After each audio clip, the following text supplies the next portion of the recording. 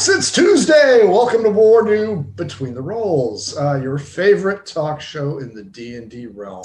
I know, I know. You don't have to tell us that. we're, we're happy to provide this service to you, as long as you follow us on Twitch, follow us on Twitter, take a look at our YouTube archive. If you want to shoot the shit about D and D, join our Discord. If you want to buy our really cool crap that's going to be on sale on the 13th. So don't buy, don't buy our shit until the 13th. But you can get a cool phone case or a Yeah. shirt or a, a throw pillow, stuff like that. Most importantly, if you want to be on this show or you want to be on the one shot a week from Saturday, M Hobo inc twitter or gmail hit us up we will try and get you on there uh, tonight we're going to be discussing the halvesies but first if you want some custom dice try at pirate dog dice on twitter hit them up let them know what you want maybe you get something cool like Terran's Bard dice. Uh, maybe Yeah. no. maybe maybe you get a piece of crap that you shouldn't have paid for. Uh, and if are your game stinks, unlike ours, uh, try some Adventure Sense from OddFishGames.com, also the maker of the Oh, Shine system. So if you want to write gooder, uh, check out their Shine system. Coming soon, their uh, Kickstarter for how to RPG with their cat. I have seen the preview videos. They look phenomenal. You will love it. And I've actually played it and I had a good time. Uh, finally, last but certainly not least, uh, what's that, that thingy that we're doing? I don't Uh, know. I don't know. I know. We need to something, At the back talk about. mind, uh, I can't. can't some really piece of crap it. meeting or so. Oh no, it was the convention, the virtual convention. That's what it is. MurderHoboCon.com. Check it out. August 1st, a Sunday. It's going to be a charity con. Uh, so once the bills are paid, all the money goes to our charity do jour, do year, whatever, uh, American Cancer Society. So we're not keeping one red cent of that shit. Uh, so at IRS, keep on moving. Uh, I don't want that headache. Uh, tonight, we're going to discuss the halvesies, as I pointed out, but let's introduce you to the panel who's going to talk. Uh, we will start with the new member, uh, although he's been on a lot of shows, and I think he's got his dice. Do you not? It, it came. I haven't looked at them yet because uh, What? my kids went and got it. That, that would have been the first thing I would have done is just torn open and, and, Wow. and bathed Yeah. in the glory. John, tell us about yourself. Yeah, my name is John Boland, and I'm a uh, dungeon master. Uh, mostly, I don't run any websites or anything, but I I play D and D once a week, actually twice a week now. Uh, I'll typically uh, I've been doing it uh, for fifth edition since 2016. I want to say maybe early, late 15, and uh, I mostly run on roll roll20.net. Now, are you going to be doing uh, your thing on Roll20.net for Murder Hobo Con? I will probably use it, uh, but we'll see. It, it helps because you get the map and all that fun stuff. So No, no, uh, not a problem. Uh, the Murder Hobo Con uh, private game rooms uh, are an option. They aren't mandatory. So if you're a streamer, you don't need to use our game room. Instead, we'll make our game room a link to yours and you can run your show the way you want it. Uh, John's got a game. Uh, what was the time slot you picked? I think it's gonna be at like one p.m. or seven. I I have an alternate time. I don't. Now you'll get first pick. First pick was I think one p.m. I think. 1 p.m. to 4 p.m., folks. Three hour game, a three hour tour. Ginger and Mary Ann will be there. It's cyberpunk. It's gonna be uh, fifth edition rules, but basically. It'll be quite altered because it's it's basically set in a cyberpunk setting. nice. So Nice. Awesome. So, Murder, you can't sign up for the games yet. Now, if you're a dungeon master, a GM, uh, or you want to do a seminar or a panel, please submit, make your submissions now. Uh, tickets are not available for these games.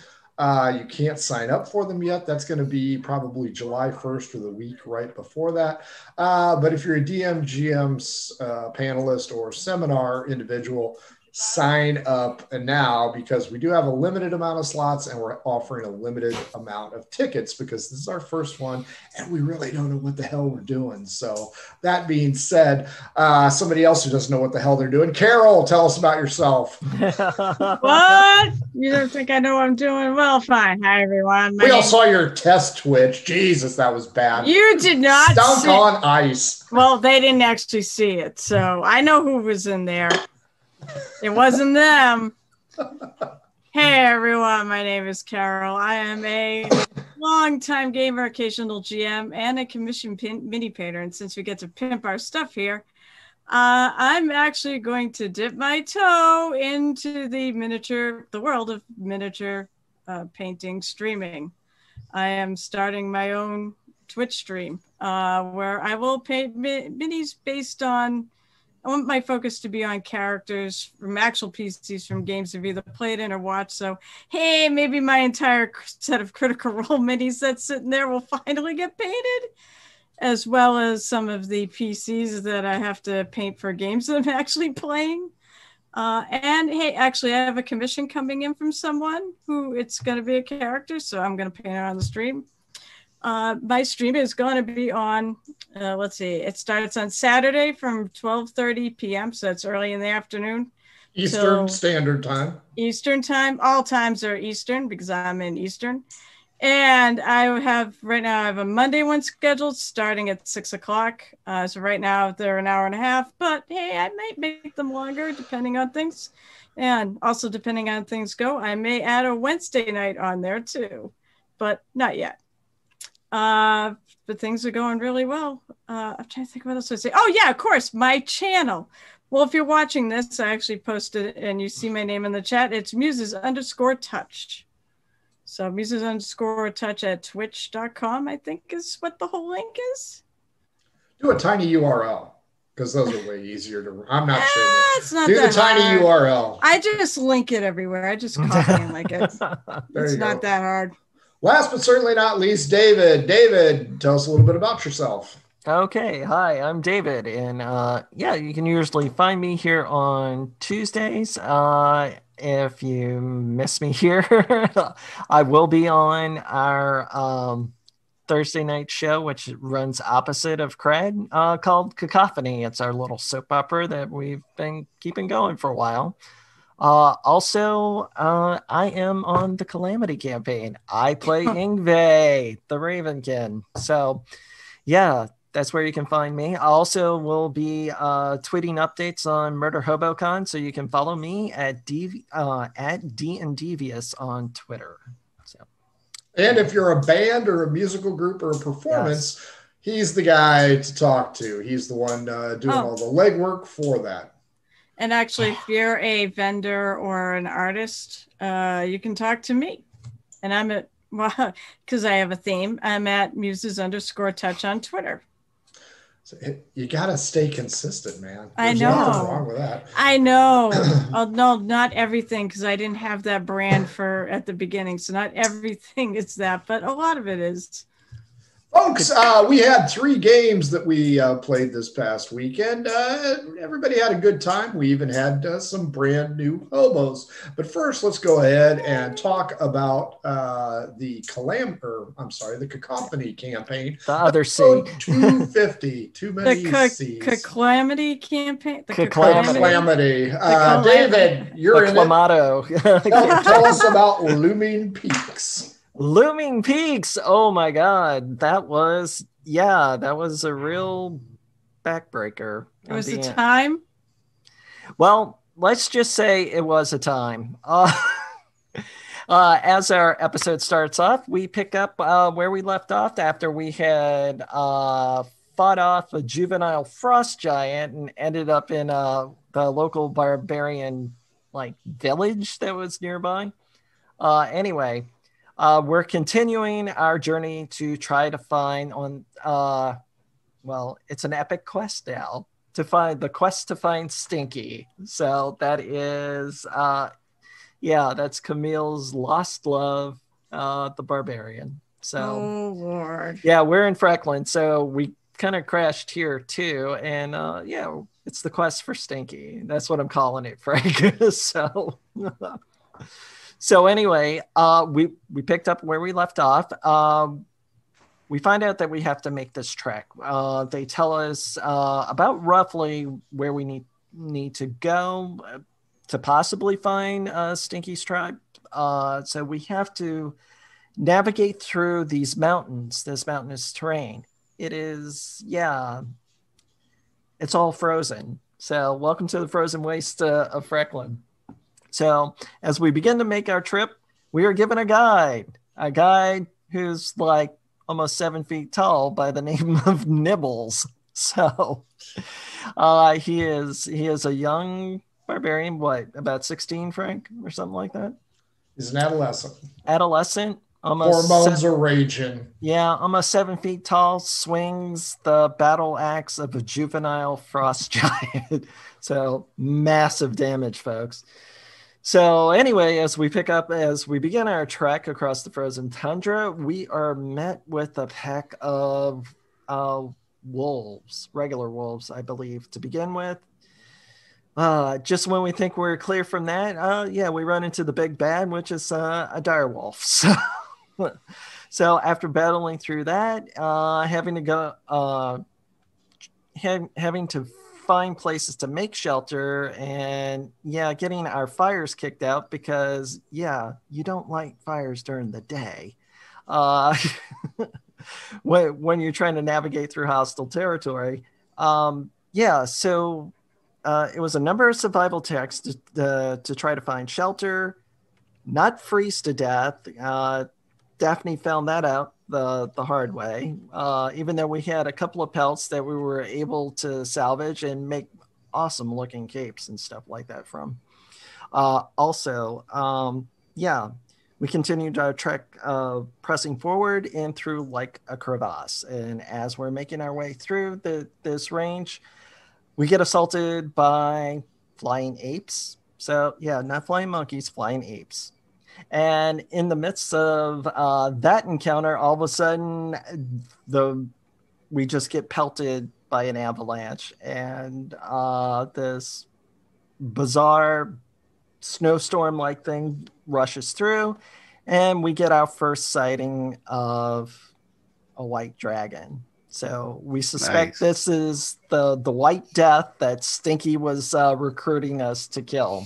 So, so we take refuge in uh, in a cave, and that's pretty much where we left off. So, if you want to find out how we do that, the following week, uh, yeah, check us out and see how we do and all that. So it's it's a pretty epic adventure. So lots of fun, lots of lots of rolls. Yeah, and Dave continues with his sucky percentage and D12 rolls. So yeah, So if you want to see Really? a guy, tune in next Thursday. That's, Exactly. that's the takeaway. Uh, next game was uh, a one shot, episode 251, Fanatica. John was the first alternate. Unfortunately, all four of those bastards showed They up. showed to up. Play. They all How Uh, dare they? John, you got to watch uh, most of it. Uh, tell us a little bit about Fanatica, please. So yeah, Fanatica, I believe, uh, had uh, two new players, Kyle and Kaylee, and then uh, Jeff's, uh, my friend Jeff's uh, second appearance was on there. As Um, was Andrews. Yeah, Andrew, yeah, They're, they're Yeah. going for the dice, man. They're going for it. and and then there. So I remember that was it Kyle that played the turtle. Yes. yes. Okay, yeah. So you got a turtle, um, and then uh, Kaylee was a gnome that rode on his back. Mhm. Mhm. Boomer, I think that's her name. Boomer, right? Yeah. Yeah. Actually, And- she rode on Andrew's back. Oh, Andrew was so the Andrew's- turtle. Okay. Oh, Andrew was the turtle. Okay. Andrew was the turtle. That's right. All right. And then uh, Jeff played a um some kind of warlock, I think. Mhm. Oh, it was a tabaxi. Yeah. He Yeah. was the cat. Yeah, Yeah. Carol. It was a tabaxi. He was lucky. Yeah, Kyle was the other barbarian. Or Right. no? That's Was he? No, the turtle was the barbarian. And so was the gnome. Boy, hell's you Kyle? would think One would think Frank would know his own game. So Yeah, it is. I It has been a bad week, and it's only Tuesday, folks. Yeah. Keep going, I know the feeling. I know the feeling. So I know they showed up to the well, they started going along. They found this sign that pointed uh, to three different places. One of them pointed straight up for Fanatica. Um, I can't remember how they got to Fanatica. They they ended up in it. The guy taking a dump in the bushes told him to go there. They, I remember Okay. that. I forgot that. Okay, yeah. And then once they get there, there's uh, guards that are asking them, you know, what are they doing there? And they basically barely got in because they seemed like incompetent. I think at the first of the guards. They were they were less than stellar. Um, I know there was uh there was a scene where they talked to this guy. Was he the mayor? Was like a big tough guy, Uh, he was he was the head uh, priest. head priest. Okay, and then there was a part where they were watching this. It, it seemed like people were getting recruited in this cult, and so there were the, these people that were chanting, and uh, there was this guy, and he was getting ready to cast some kind of spell or something. Uh, yeah, you'll have to you'll have to fill in the rest because that's Uh, about where I wasn't able to keep going. Yeah, Kyle I got a call for work, so Ah, work? No, Work, yeah, come work, on, man. That's I was on bullshit. call this past Yeah, week. prior- Send, your- send your dice back. Send your dice I- back. I That's know, I bullshit. know. I Oh. Kyle- Not a Kyle real role was- player. Kyle was the uh, Warforged uh, rogue, aka H1RO. uh, yes. That's right. That's right. Yeah. So, uh, they, unfortunately, much to the chagrin of uh, live viewers, they never hit each other. None of them rolled a critical Wait. fail. That's Are you bad. live viewers or you? I I think we all tune in to see you guys pummel the shit out of each other.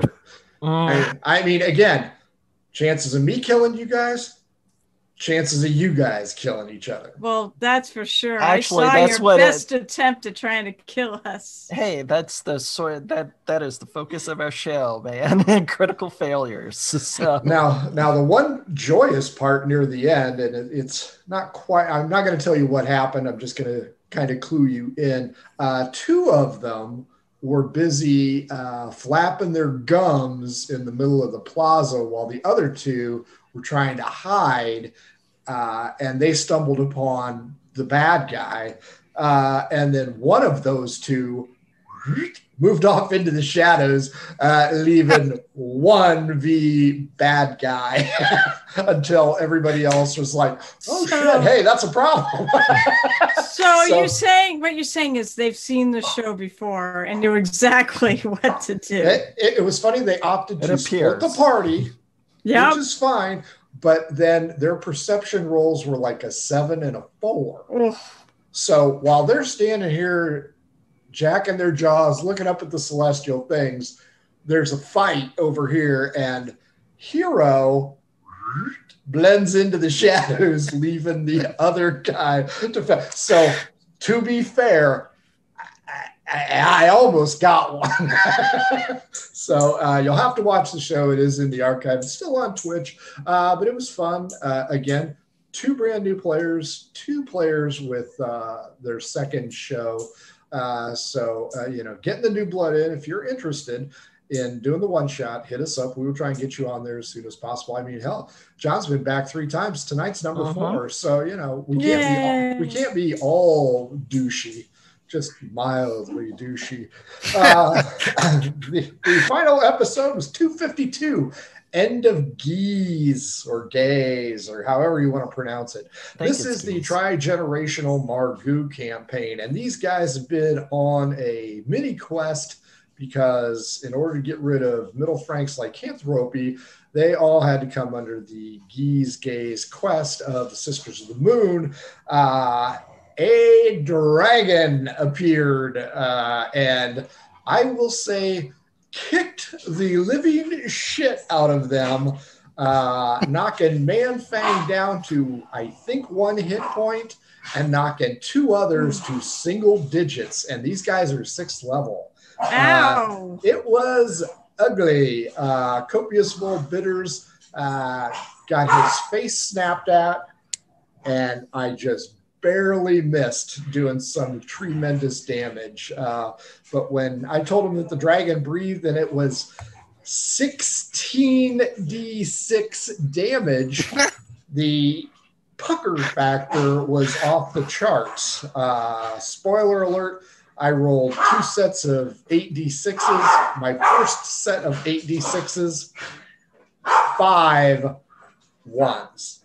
Five, five ones out of eight rolled. I was pissed. Your Uh, dice don't want to kill people. I see how it is. Yeah, the, the dice, uh, the dice gave us away this time. yeah, Uh, Frank Frank doesn't kill people. Dice kill people. That's right. That's right. That's That's the right. way it always works.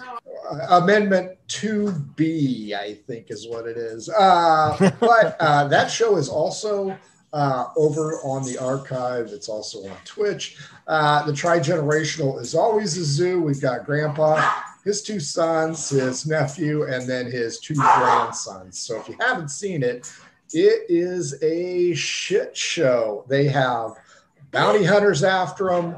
Uh, they had to make a deal with the army, whose general doesn't realize that they were kind of responsible for killing his brother. Uh, they are just looking for a hidey hole at this point in time. Uh, I have given them the map of the Halfling Kingdom, told them I don't care which direction they go, just give me a heads up so I can write it. And they said, We're going this way. so God only knows what they're going to do. Some of them want to go try and find the dragon's hoard. Some of them want to get the GTFO and go to a capital where they can blend in. Some of them want to visit the East Coast and uh, enjoy the culinary delights. And at least one of them wants to find a whorehouse. So, uh, with that group, Let me guess which one. yeah, you'd be surprised. there, there's two good choices there.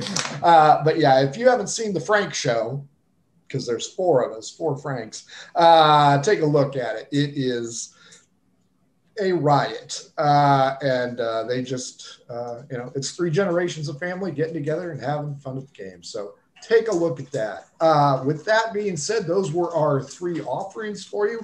Uh, we hope you take a look at it. And again, if you want to be on the one shot or on this talk show, mhobo Inc., Twitter, Gmail, hit us up. And with that, I turn it over to Carol. All right, so the topic of tonight is halfsies, so half orcs and half elves, and I think that's the only halfsies there are, aren't there? Uh, so uh, the first thing on the list, because I'm going by his list here, is origins and lore. And it's funny because you wrote pop culture, not much, but I think there's more than what you have listed there. So I'm going to go around the horn and you could pick either half elf or half orc. Uh, and it could be from name a famous one that a lot of people know. So uh, let's start with, I'll start with you, David. Uh, half orc. Well, of course, I can. I'll pick that one because that one's easy. Fjord, critical role. Yay! Come on. I was that is the thinking of him most famous too. half orc out there now. I think he is. What is this critical role you keep talking about? Yeah, yeah. Some other show. Don't, Somebody, don't yeah. even worry about There no other show. There is only Zool. Why do you love him? Why do you think he's awesome? because he is not the the your typical half orc and we'll get to that when we when we talk about stereotypes and all that but uh, when i was reading about the, the description in uh, um in the handbook and through d&d beyond uh, it is their bloodlust you know that i mean it's the orc blood mixed with the human blood.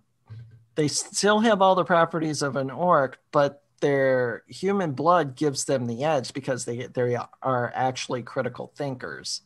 Critical role, critical thinkers. Uh, but but seriously, they they are able to think, strategize uh, more efficiently, and not immediately consumed by rage. So you know they still have the bl- bloodlust, but but anyway, Fjord is a good example because he didn't live up to any of that. He never raged or anything like that. So he never had a blood rage or anything like that. So, uh, and he played against it because he was a caster. He was a warlock, which, if you're going to have a half orc, is a damn good class to have for it. Travis knew what he was doing when he created Fjord. So, you know, constitution, strength for a hexblade, can't beat it.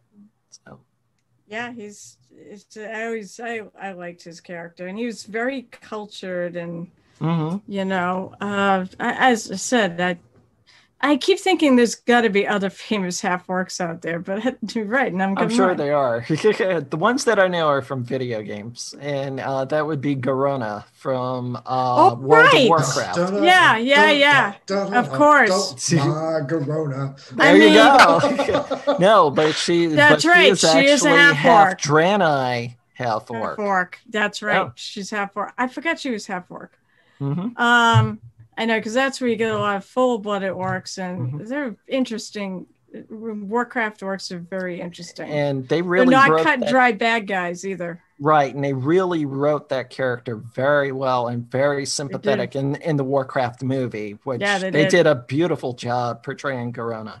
So, I like yeah. her and I like her in the game too. So, Mhm. all right, John, you next. It could be either it's probably going to be a half elf, and I can think of more than what uh, Frank is thinking. I can't really think of it. I actually don't know of any. Annie, No, 'cause I, I guess I just don't read enough. Well, it's in the Hobbit, the movie series that was just out, wasn't the the the ranger wasn't she a half elf Is she half elf or just fell or just two dwarf? different two different elf uh kind? I guess I don't know, but actually no. I, I no, your Quorm is the one I'm thinking of, but uh, I'm going to go to Frank though because Frank has one I know he'll want to talk about.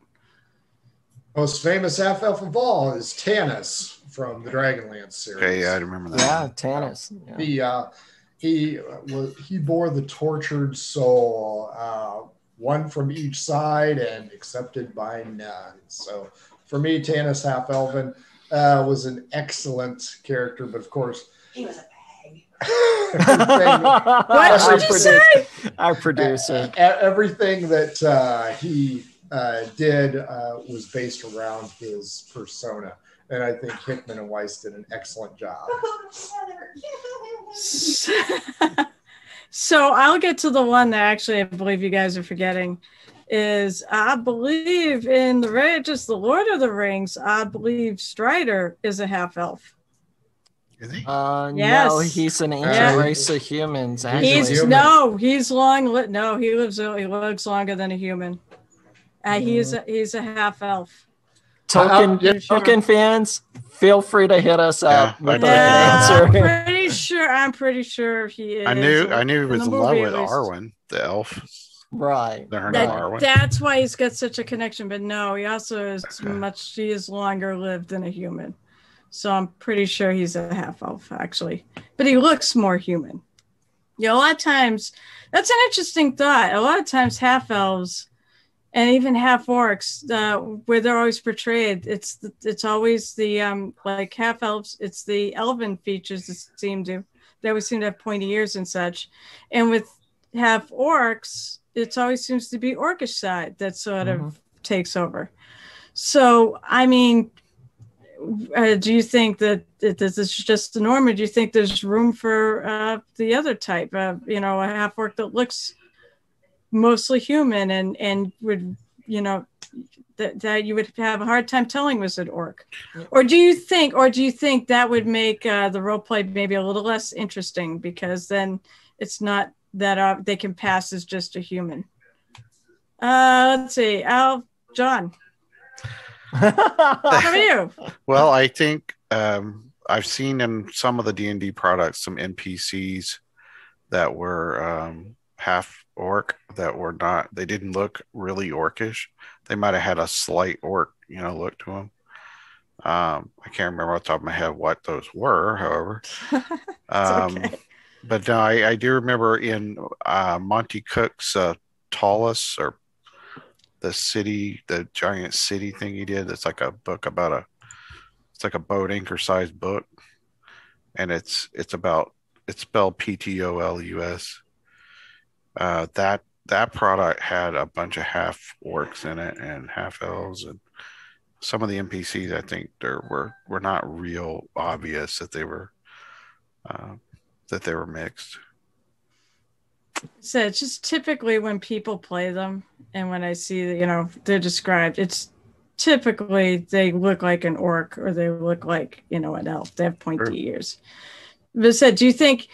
Do you think um, it takes away from the RP at all if they go with the thing that just totally passes a human, or you know because you might not have as maybe. much of the hatred, or that's there's also an interesting thing there too. But all right, David, you how about you? How about your opinion? This is all Uh, about. I think it. I think it would be great uh, because it kind of helps you go against the the stereotypical depiction of you know a half race like that. You know, everybody expects the you know the physical features to be out there. What if it was just only the? It, it was rather like very very large but very human looking like half orc the only thing that's obvious is the blood rage you know? I mean that's possible. Uh half elves well i mean my home game that we play my my character even though he's an aasimar has a half elf in in his bloodline. So and we're playing that as his in to get into Evereska which is an elf you know is pretty much a forbidden place uh, for beings other than elves. So What does he now? I'm just curious. What does he look like? uh, he's human, human, but uh, silver skin, kind of bluish tone.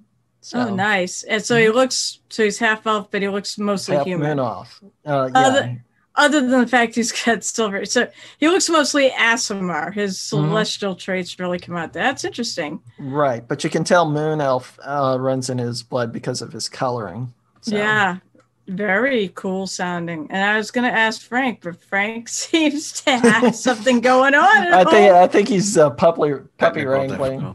So Is he puppy wrangling? I mean, it's okay, Frank. You back? Oh, he's muted. You're muted? muted. You muted. That's the beauty of the headphones. I can wander around. And, So, but yes, I how was about listening. how about your opinion, Frank? Uh, I, I think it would be incumbent on the DM to go ahead and utilize uh, standard perception rules by the people because uh, a lot like Tanis, and I'll refer to him frequently in this uh, area, uh, there's something wrong with him. Uh, he is clearly a mixture. He's got pointed ears, he's got a beard. There's something wrong. And the inherent I'll use the word racism for it. The inherent racism for the people that he deals with is always going to have a negative effect on him. Now, even though his maybe his uh, charisma stats would have been good, I mean, he was the leader of the group. He knew what he was doing. He had his shit squared away. But when dealing with everybody else, uh, the inherent internal built-in racism in that system would have presented a negative effect on that when dealing with him. And I think that would be incumbent not so much on the player, uh, Yeah. be- because you could you could play, you could RP a very good argument. But if you're dealing with somebody who just hates you because of your lineage, you're you're going to face a negative consequence of that. So even though you have a charisma of 18, you get plus four, and you roll a 16 and you get a dirty 20. If somebody hates you, you're not going to persuade them. I mean, uh, think about politics, think about religion, and think about rearing a child. Uh, those three sections pretty much are cemented for a large number of people. And I think that's going to be a negative. You can give a very tangible, uh, inherently good argument for A, but if the person you're dealing with is is stuck in their uh, section of B being the right way, the likelihood of you changing their mind is not going to work. So I think it's incumbent on the DM to go ahead and promote that and use it as a push for the storyline. Uh, you know, think of all the great speeches in the world, and you know there's some asshole there. No, that's, no, that's There's always that one. Yeah, always and, is one. and then they should come to the forefront and be not a protagonist, but an impediment to the goal. My Mhm. opinion only. Yeah, no, that that sounds good. Um, one of the things that I was thinking about uh, as an example to play against the the physical appearance type and all that, a good example. It's not related to orc or half elf in particular, but just the mechanics of it, how it was done, is in Marvel movies. Thor, Loki is a half giant runt, and when he's exposed to cold like that, his complexion changes and stuff like that. Hmm. So, you know, you could have like, for example, a half elf that's half drow, can't really tell until he goes out in the sunlight and skin suddenly turns dark, you know, and he's repelled by the light. So, It's you know, an it's interesting concept. Mhm. Uh, So the most famous halvesy that I know of is actually not half orc or half elf. It's half Vulcan, which would be Spock. that's it. Nice. Well, that's that's pretty think they do close a- to half That's elf. pretty yeah. cool. Yeah, I was gonna say he is. They're sort of like elves. Yeah. I mean, They do a good job of that character, though, of the dichotomy between the the Vulcan upbringing and human and his feelings and how he has to always fight Mhm. um, one or the other, depending on what is, needs to happen. So Yeah, that is that is I a like that. good example, John. That is a good example You of know- what a half elf is like. Yeah. it said it may not be D and D, but that actually is an excellent example of yeah of a half something. You know, of Mhm. that's that's a great example. Um, so the next section was stereotypical traits. Now it was touched on something about like Tanis, you know, had really good charisma. I think it's very interesting how maybe not hated. I feel like that's an awfully strong term, but I believe that you know humans and elves look at you know like half elves with suspicion at the very least, or at least that's the way it's always been portrayed you know, and orcs are definitely half orcs are definitely, you know, definitely looked at with suspicion, considering that a lot of times orcs are considered bloodthirsty, you know, monsters in a way. Although the way things are now in D and D, why that's changing, which I think is really cool. Um, but the thing about the elves, the half elves, I think is interesting. Even though they're hated by both sides, they also have I think a boost to the to, to their charisma to deal with both sides. So you know, I thought that was kind of interesting. You know, it's sort of like you get a bonus, but you also have a penalty at the same time. Uh, Well- I. What did you said? Uh, I said so hated by both sides. I don't know. What are your thoughts on that? Do you think it's true that that the way he's going to word it there, hated by both sides, is right, or do you think that things are changing in the D and D realm uh, these days? Let's see. Who do I? I'll start with Frank this time, since I've started with everybody else. I, I'm gonna say, and, and this will piss people off, plain and simple. Uh, while the D and D world continues to change and evolve into something more akin to uh, a higher society, which I'm all in favor of, the problem that you're always going to have is that human beings are inherently biased, whether they be players, DMs, some dude at the shopping mall. People just don't like differences. Uh, a lot of us tend to embrace the differences and have no problems with it. Me personally, I hate everybody, so I treat everybody equally. I just great disdain for everything. Uh, but I think when you're playing a game, especially one like ours, I think you have to have a central either figure or group or goal. You fight the Nazis because the Nazis are inherently bad.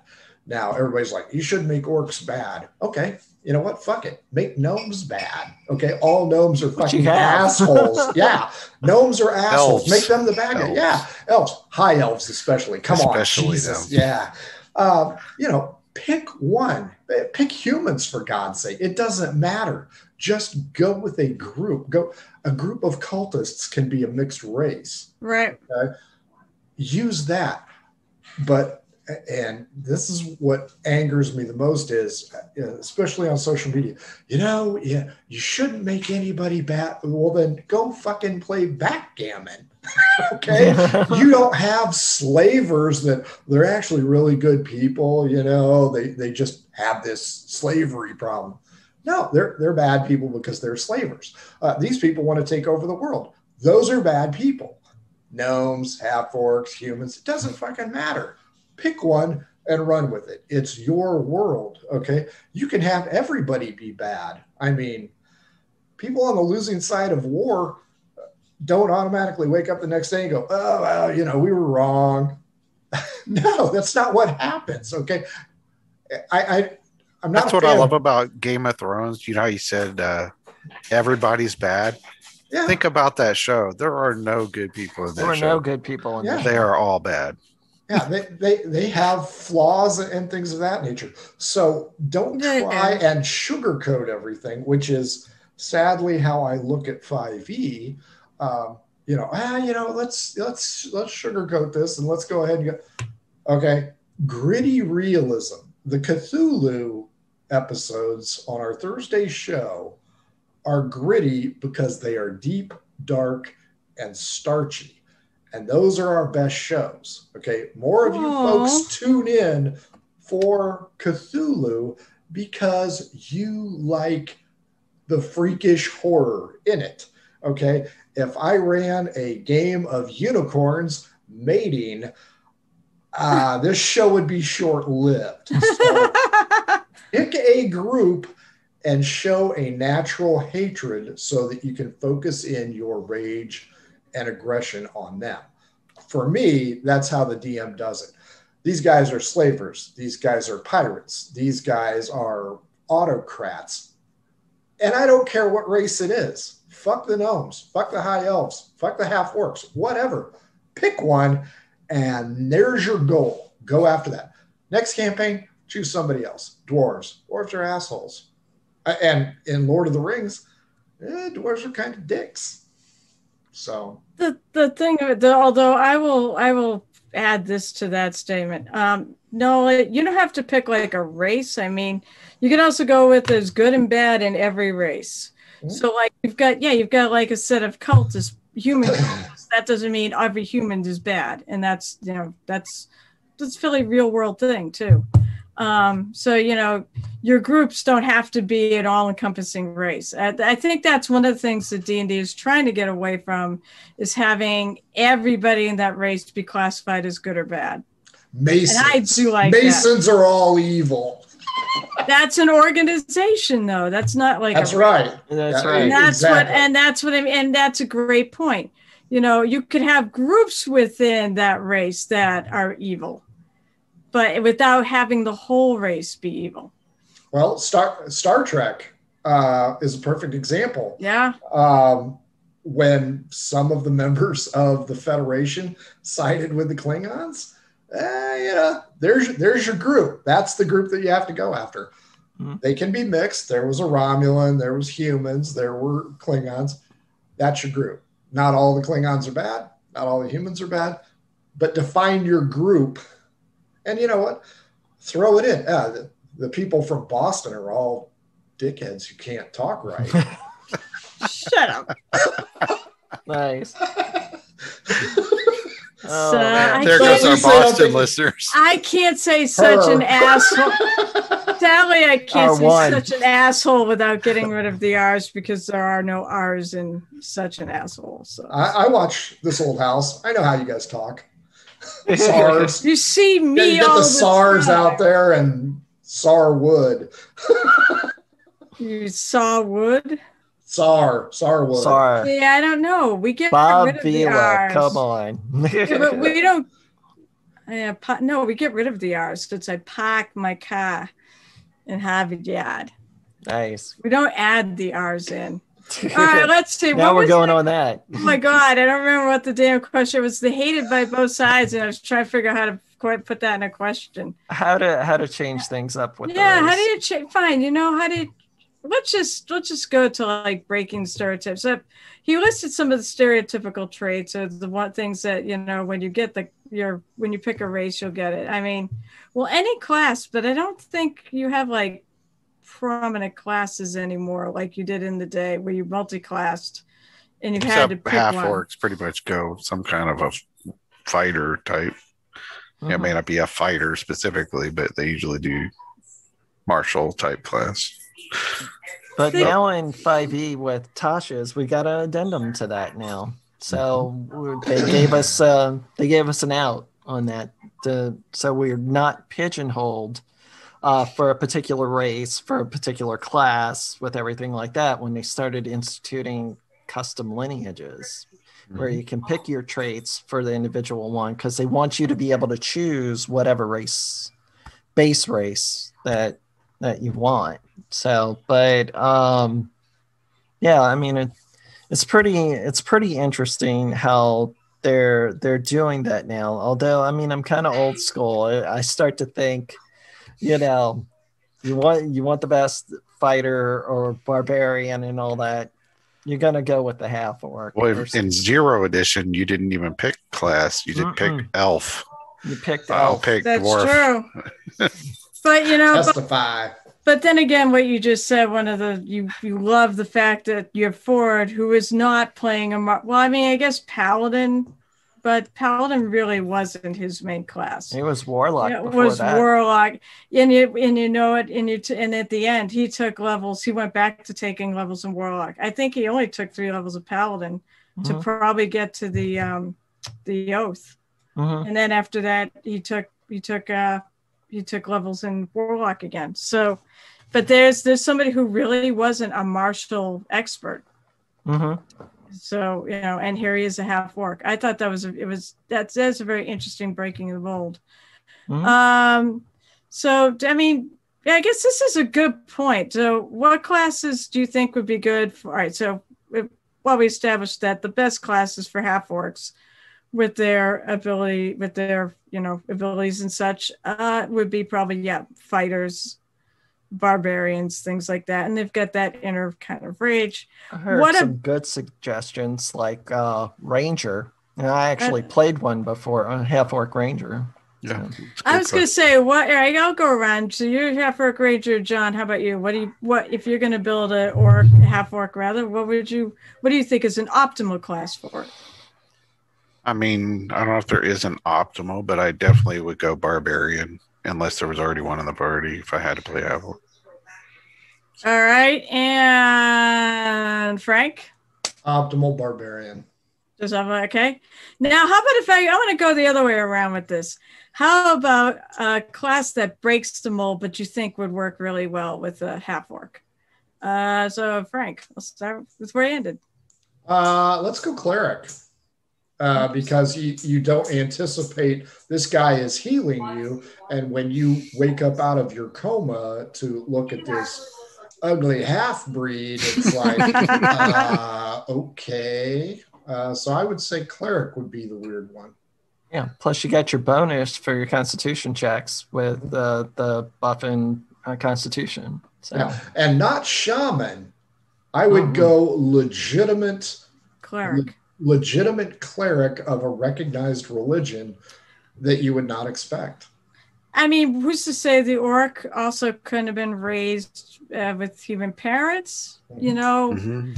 uh, th- that absolutely it fits. I mean, it does totally fit. David, how about you? How about a how about a class that's how about a class that's not really traditional, but you think absolutely works really well? Well, like for the half orc, uh, one of the things that I saw, I was looking at uh, there. There is a variant on, on the half orc, and then I looked at it, and I looked at it again. It's from Eberron, uh, the variant with that.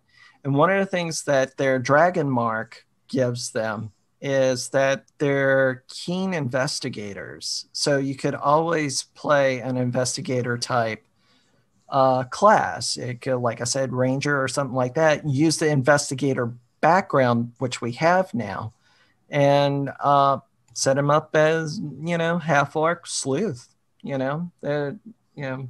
That'd be interesting. Yeah. Sure, or Holmes. Yeah, sure, or Holmes. there we go. Holmes. He's gonna have the hat. Yeah. And the, and the coat. Yeah. That's with, okay. With the rogue, uh, the Inquisitor, you know, that's you can roll with that too. Yeah. Oh, Orc Inquisitor, I think would be really interesting. Mhm. All right, John. How about you? How about a what weird class would you put at Orc, but you think would work really well? I don't know if it'd work so great, but it'd be fun to play a half orc uh, bard. Where Mhm. you're was like That's you're right. always I was getting in people's that. face. high charisma, man. You can write. Plus, you've got a built-in bonus to intimidation checks. Right, you So, get so yeah, yeah, that would totally work, man. You- You could give him the half mask. hmm What about a, a, a half orc? And the, you get the Master of Blades, you know, which is I've heard is absolutely broken bardic, you know, a bardic archetype. that might be very interesting, since they are pretty good weapon masters. Yeah. All right. How about well, so we just did the half orcs. How about we do this for half elves now? Okay. So what's Okay. your most traditional aligned class for half elf, uh, David? Uh, class for half elf. You see, half elves fit in everything. I mean, I that- know. they're the min-maxing race. They we are. That's They really That's are. true. Once across the board. in five E they are. Yeah. Um I would say to kind of play against that with uh half Fine, elf. we'll just we'll just go with the non-tradition. What you Yeah. think would be the weirdest one that works? Yeah, uh barbarian. You know, look at Rob on Calamity, you know. I mean, he's a he's a half elf barbarian, you know, and that totally works. Yeah. That I, like that, and that does sort of go against the mold because He's you got high of, charisma you do figure- I mean, you do sort of figure half elves are kind of like more delicate, hmm you know, and dex it, you're sort of more dexterous. But I mean, right? Tanis, I don't think was Tanis. uh, I believe was a fairly large guy, if I remember the pictures right. He, he Uh, was stout. Yeah, he was stout. He was not like this delicate, thin elf. Uh, all right, Frank, how about you? Uh, pick a weird, a weird combination. Paladin. Make him a Is he- mounted, make him a mounted knight because their thin frame just doesn't give the intimidation factor of a large cavalry charge. Uh, when you look at uh, the elves in traditional uh, literature or movies, uh, they're thin, they're light, they're fast moving. Okay, let's throw 300 pounds of freaking armor on these guys and make them what real knights would be sitting ducks if they get pushed over because it's going to take forever for them to climb up. Uh, but you know, you pull that visor back on your helmet, and you've got you know the big religious insignia on there. The last thing you're going to think of is some shallow-cheeked elf. Hey, for me, I, I'm like, no, I'm just going to kill you and wear you as a hat. All right, John, how about you? Well, I think maybe I would go with uh, the uh, warlock because warlocks you think you don't really think of as really being elf related for the Right. most part. Oh, I guess maybe the Fey ones. yeah, I the- could see Fey. Yeah, I could see. If you had a Fey ones, yeah. patron, it might fit. In fact, I have one that a different character that has that, but uh, but yeah, I, I think they're a little different because you don't see half elves as necessarily being in pact with you know other planar creatures for the most part. Which is funny because you know, considering the fact that so many uh, people are like suspicious of them, you think they'd be lonely, and if some like being would approach them, you know, eh, to be their buddy, hey, look, I got this friend of mine. Um. All right, so. Let's see. I'm going to go to breaking the stereotypes. So we sort of touched on that, but I mean, what else could you do to break uh, stereotypes? Uh, pick one or the other. And um, all right, uh, David. Wow. Um, to break the stereotype, uh, like I said, you know, uh, you know, half elf playing like one of the, you know, uh, you know, heavy melee classes and all that monk, you know, monk would be a good way to go around it and all that. Although we saw that in Critical Role with Dyron, you know. So, but yeah, I mean, uh, I think a half elf monk would be great, you know, to kind of help break that rule. That Yeah. big go. All right, Frank. Drunken Master. There we go. Half elf Drunken Nice. Master. Uh, I'm going to take both of them and go opposite sides. I'm going to make every half orc French, very eloquently speaking, very uh, polite to them. And then I'm going to take uh, the elves and turn them into some limey bastard right out of an Irish tavern. There you go. They spit, they swear, and they're personally offensive, even with their high charisma, because they're funny, but they are going to be rude as shit. to They're you. tavern brawlers. They're tavern brawlers. Yeah. Ah, I get drunk. that. And they fight all the time, each other, somebody else. It doesn't really- matter. Yeah. I need to make one of these for Murder Hobo. Awesome. Welsh. Great They're- idea. They're Welsh. They're Welsh. Yeah. For all our Welsh viewers out there, I, I think I hit that one on the head. All right, John. How about you? Well, let's see. For half elf, I think it would be interesting if you want to break the mold by having the half elf concentrate more on the their humanistic side and trying to like get away from the idea like try basically have them try to hide the fact they're the elf and and that try to play down the charismatic aspect of it maybe where they don't they're not very social maybe they're just uh you know they're they're very shy they're very downtrodden almost so You would th- and said once again, you would think that where they if you have all these people picking on them, they would be a little bit more shy and downtrodden than they are. well That's why I thought it was so weird. Yeah, I just said I thought it was really strange that here everyone picks on them, but yet they get along with everybody. So I I never could quite figure that one. But hey, it, I I, I still I like the thought of them being versatile and yeah, and being basically they can get along with people. Um, all right, I'm gonna, you know what, and we're all, time is almost done. I'm gonna, I'm gonna leave this one as the last one. Why no half dwarves or half gnomes or half halflings, which should be what quarterlings? Why? Why don't we have those other races as half? Uh, all right, Frank, start with Do you, you. want, do you want the non-safe for work answer? I was about to say the mechanics. Yes. I, Go I- ahead, I- yes, I yeah. think the size difference uh, would inhibit There's uh, furniture. creativity. I mean, that, and uh, and I, I thought no, about this. giving birth, man. I mean, I like know. you have the, ch- you know, it's like you have the Great Dane and the Chihuahua. The Well, they're like bulldogs. They're, you're going to chihuahua. need help getting them out. Uh, You know, I, I really thought about this one because I thought, why why are there no half dwarves?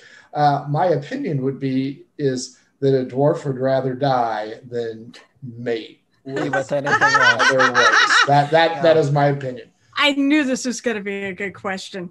Uh, all right, John. Um, well, I don't really know why they don't allow it in terms of D and D uh, in the published material.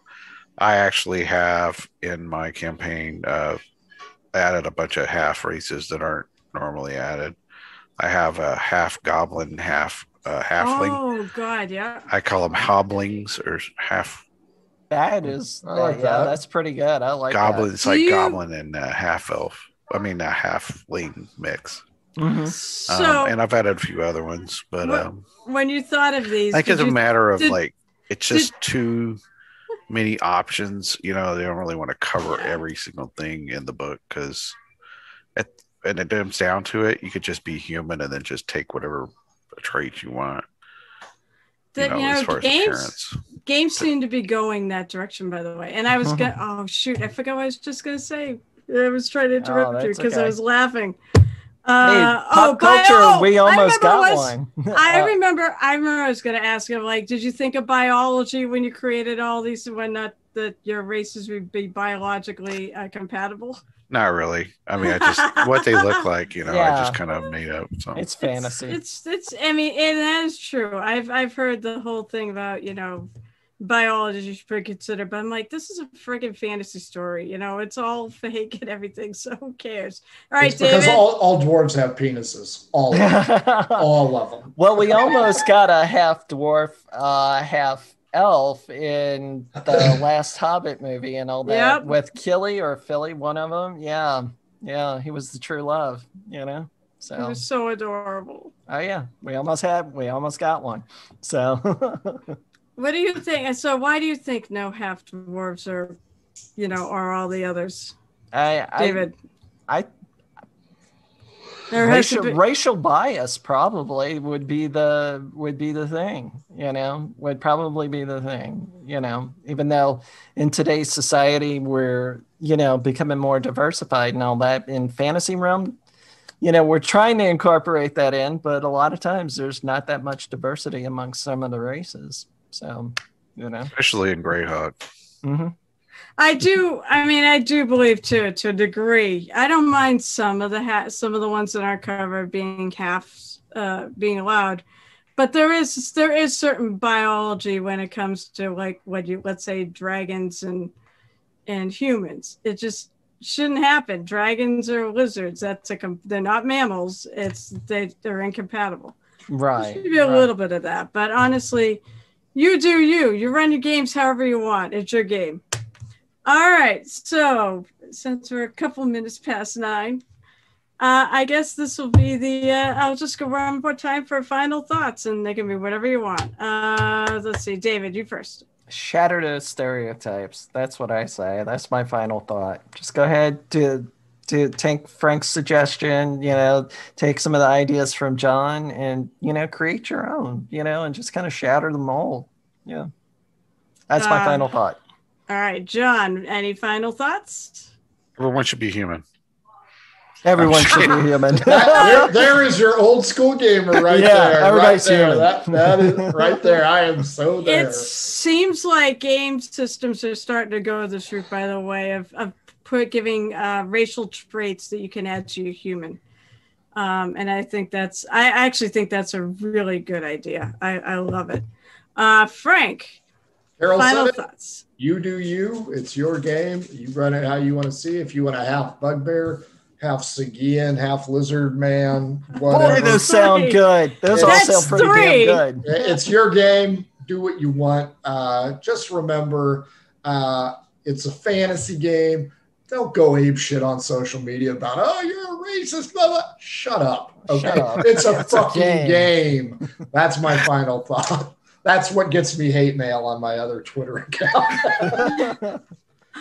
I, you know, I, I, I like how, um, I will like say, I will like how D and D is now focused that not everybody in one, not everything in that one race is evil.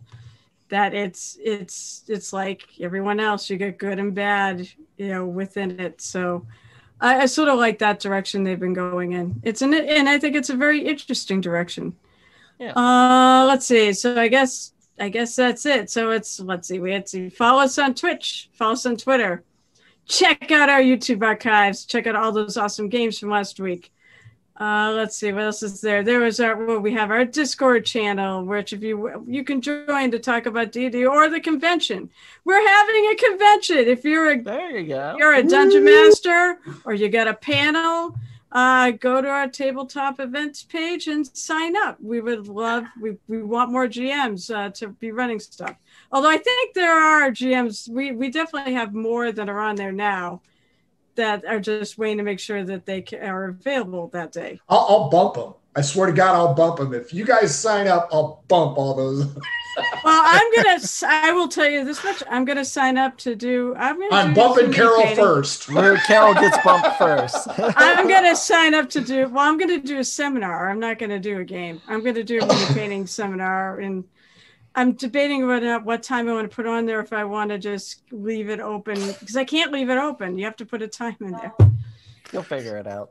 I'll figure. Yeah. Uh, let's see. So please go and sign up and and you know soon enough attendee badges will be open and you can start signing up for games. Let's see what else is there. There Oh. is well, no, I noticed that. I'm just talking about about about stuff stuff. There is, of course, uh, there's our podcast. I forget. I don't remember if we mentioned the podcast. We do have an audio only podcast out there. We Oh, don't? okay. Forgot the audio only like, This podcast. is the podcast. No, this is the Twitch stream where you see our mugs. Then there's also the audio only podcast where you don't. Uh, where is that? They can find that, Frank. tinyurl.com, M Hobo Inc. Audio. Oh, and of course, there's our merch, like Frank is wearing. He's got one of our shirts, uh, which you you can get. And where do you buy that? tinyurl.com RPG swag. Okay, and then of course, like to thank our Uh-oh. sponsors. Uh, are we okay? Oh, Jo- I think we gone. lost John. That's okay. It's the end of the night. Um, basically, we've got. Oh, we've got Adventure Sense uh, by Upfitch Games, and they also make it to the Shine System. And what else we got? Uh, what else do they make? Oh, they have the uh, Not RPG with the cat. cat. cat, and they got the cookbook too. And then, of course, yes, Pirate Dog Dice. So, uh, you know, I, I said I have my awesome Terran set, and they rolled really well for Terran. I, I can't guarantee you they're all going to roll well, but I can tell you mine did for Terran. They don't roll well for any other character. For friggin' There's going to be a set for door prizes. A lot of door prizes already. Ooh, yeah. There's there is door prizes at the con. Uh, there's there's a. I know you've also got like a couple of Walmart gift certificates and such. Um, that's true too. I believe if you're looking, if you want to be a vendor uh, or you want to be an artist vendor, uh, I believe you will also accept prize support as payment. So there you go. If you've got, uh, I, I actually have somebody who's very interested in doing that, uh, who sells glasses. Hey, Custom Kyle glasses. Jr., are we going to end this show? Yeah, I was I know, say, well, there's all this this stuff. hey, there's all this shit we gotta get through because you have like now nine million announcements at the end. I think we got it covered. I think it could cover. Otherwise, I'm gonna just leave one more thing. Uh, I'll be starting to stream mini painting on Saturday at 12:30 p.m. Eastern time on Muses underscore touch at or Muses touch on. No, it's Muses underscore touch. I think I know my name. Tiny On this- URL. I'm telling you. No, Tiny no, no. I just, I just said, I just take and copy and paste the links. But it's, yeah, it's visitors underscore touch at twitch.com. So hopefully I'll see you there. Uh, it should, looks like it's going to be a really good time. I've, I've got a bunch of people I think are coming, so chat should be fun. Take us Uh, home, Frank. Anything else? Because I think I covered everything. C- Uh, cred and uh, calamity, this week. Yep. Yep. Yep. See our campaigns; they're awesome. Yeah. And Good that's job, it. Kyle. Everybody wrap. wave. Hold on. Goodbye. I'm not Kyle. Kyle's me. Bye, everybody. Mwah. Mwah.